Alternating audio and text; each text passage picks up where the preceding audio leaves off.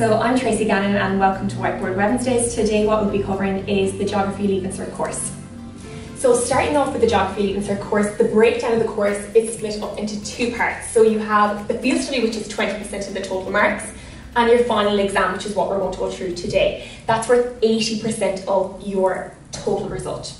So the exam is broken down into two main parts. So the first section is your short questions.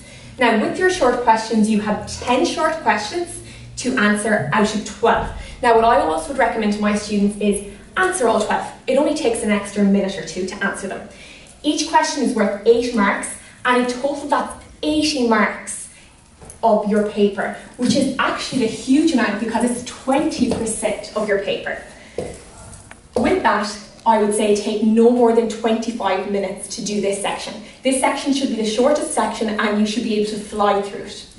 After that, what you have is the second section of your paper, which is your structured and long answer questions, so your essay styles questions. So there's a couple of sections in this. The first section is your physical geography, and what that covers is everything from plate tectonics, rocks, um, weathering, folding and faulting, and loads more topics. And that's always, always, always question one, question two, and question three of your paper. Now, the structure of each of these long questions always stay the same. So Question one, two, and three, and all the questions from now on will have three parts a part A, a part B, and a part C. Okay? So, what you'll do in the day of your exam is you're going to choose either question one, question two, or question three. You can't pick and choose from each of them. So, let's just say I choose question number one. I have to do the entire sheet of that question, which is a part A, a part B, and a part C. Now, your part A is at 20 marks, okay? So 20 marks, it's a kind of a short answer, kind of similar to your short questions with a number of parts in it. It could be something like drawing an ordnance survey map, okay? Part B and part C is your essay questions. Now, what people get really, really stuck on here is actually their timing. So 20 marks, I would be saying no more for five minutes than five minutes, particularly if you're looking for your H1 or H2. Part B and part C, 30 marks each, 15 minutes no longer in this section, okay? So part A again, it's going to be a short type of answer question, no more than five minutes. Part B, part C, both essay style questions, no more than 15 minutes. If you spend longer than 15 minutes on these sections, these sections are only worth around 6% of your paper, so you don't want to spend more than 15 minutes each on them. Moving on to the next section is your regional geography. So question four, five and six is your regional geography. And again, you choose one question. So I could choose question five. If I choose question five, I have to complete the entirety of that question, okay? Don't be fooled, someone always does it. You can't pick and choose from each question. You have to pick question five and do that entire question. So you have part A, part B, and C. Again, it's quite similar to the previous question. A is worth 20 marks, B is 30, and C is 30. So again, it's the same structure. So five minutes, 15 minutes, and 15 minutes. Now, in your regional geography, what you'll do is you'll study both core and peripheral regions from Ireland, Europe, so the Mezzogiorno and Paris Basin, and more than likely a subcontinental, either, either India or Brazil.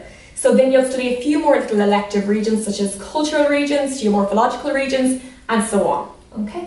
So the next section of the paper is actually a choice. So it's your elective section. So either you choose economic or human environment in this section. So you choose one, for example, if I was doing human environment, that means that I can swipe out questions seven, eight, and nine of my exam paper. You do one or the other. Don't don't make the mistake of trying to study both. Okay? You're going to waste your time, you get an option. So for example, the human environment section is a section on things like population, overpopulation, migration, and other topics. Actually, a lot of the topics that you'll see covered at Junior Cert Geography.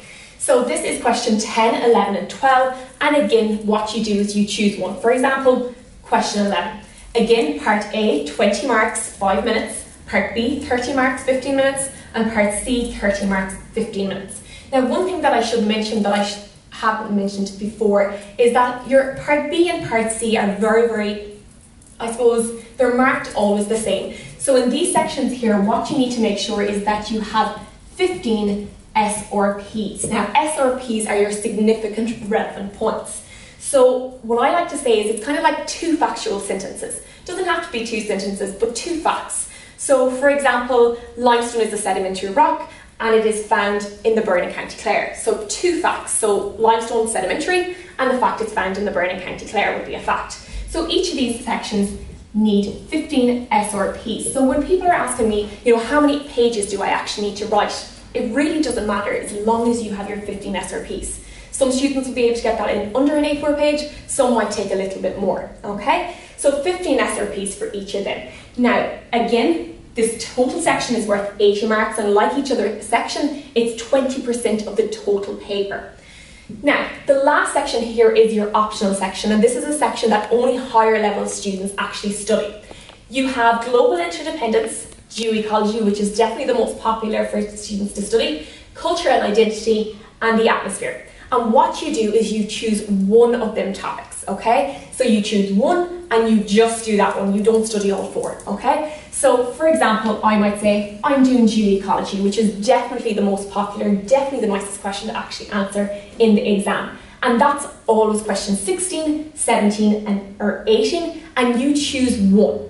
Now, what these questions will ask you about is either soils, so students who do agricultural science will have a huge advantage there, and also biomes. So looking at things like your rainforest, your desert biomes, okay? Lovely, lovely question, and you answer one of these. So either 16, 17, or 18. And again, that's an essay style question. So say I pick number 17, okay, that I like that question, maybe characteristics of a biome.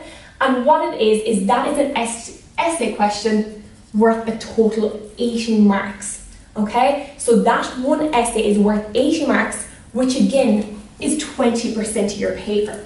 Okay, so remember 20% of your paper is here, so it's a huge, huge amount. And what you'll actually find is that students normally will cover, I suppose, about four A4 pages if they're getting their full marks. Now, this, remember, needs to be factual sentences. It can't be wishy washy, okay? So you really need to know your stuff there. Now, a huge tip I would give after going through the whole paper, remember the paper is 80% of your total amount of marks.